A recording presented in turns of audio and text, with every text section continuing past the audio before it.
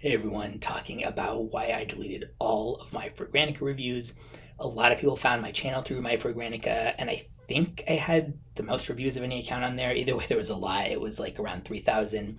I've spent like two months in a row spending time every single day moving uh, stuff into a spreadsheet tracking info, including like what everybody rates as, you know, longevity and projection for each fragrance that I've tried. And I am going to be reposting them elsewhere. But some people have been asking about why they all suddenly disappeared or find over the course of two months, finally got them all deleted. So I wanted to kind of jump in with a video about that and mention again that I will be reposting them somewhere. In a nutshell, I do not want my content supporting Fragrantica because of the ownership and staff.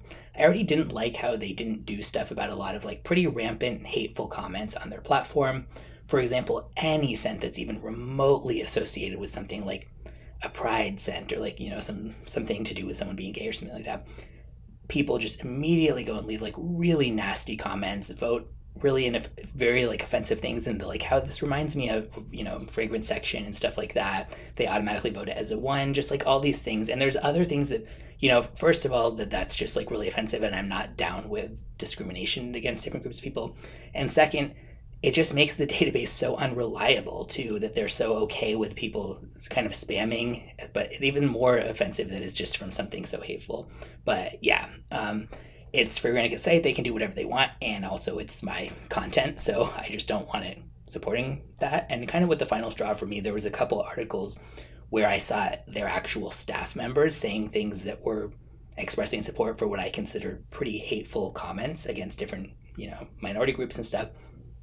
And I'm sure they don't think it was hateful. It wasn't so blatant as well it was felt like that way to me reading it but i don't think they necessarily meant that but it was not some you know minor thing of just like they didn't know some obscure woke term or anything like it was not like that. It was very offensive kind of like uh, there was a couple articles. One was like a list of the best black perfumers. Another one was about uh, some lgbt campaign. I think it was like a trans actor in a gucci campaign or something like that and people were leaving just such nasty comments on it. And it's like it's one thing if the ownership just didn't care you know they're like free speech you can say whatever you want we're not going to moderate. I wouldn't agree with that in terms of if you're if somebody's going to use your platform for like outright hateful things that's a lot different than just like a difference of opinion or something. But if that was really what they could claim okay at least they could claim that but they can't because they do jump in and argue very passionately and what i would consider aggressively and angry if it's an issue that they care about. For example, there was something about a law being passed that would make fragrance safer and you know ban certain unsafe ingredients, and that really pissed them off because of free market stuff or whatever. And I'm not saying there's not nuance to that conversation, but the fact that that moved them so much to be so mad and just really like angry in the comments.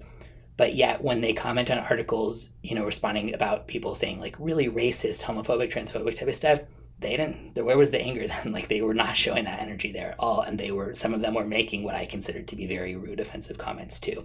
Um, and i'm talking about like people on you know the lgbt one calling lgbt people groomers and like saying just like really terrible things about different groups of people really offended on the one about the black perfumers and just like so many things where i was just like okay if this is what the staff are down with and even saying things that I personally feel are very like hateful. Um, and again, this is just my opinion. If they try to say, you know, I don't, who knows if they'll even see this. Um, but I don't want my content on there supporting it, not telling anybody else what you should do with yours or like you should remove yours too, or trying to rile people up. But just as an explanation for why I remove mine. I'm not down with my content as if they care about one review, but there, I did have t- thousands of reviews on there, and there was a lot of fragrances where mine was the only review on there. So I do think that maybe it's doing a tiny bit to remove it and bring it to a different platform.